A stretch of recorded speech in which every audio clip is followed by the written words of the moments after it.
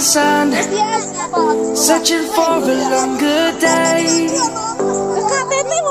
People feeling like the light has just come.